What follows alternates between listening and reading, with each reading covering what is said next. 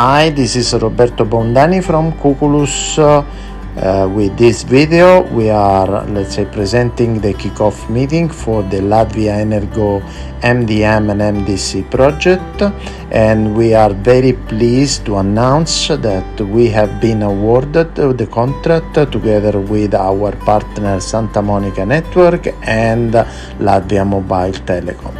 The project will manage uh, almost 1,500,000 meter from different supplier and also um, will acquire meter from different dense system. So the project will start very soon and we are very happy to cooperate with uh, Latvenergo and Sadales tīkls as well. So let's start.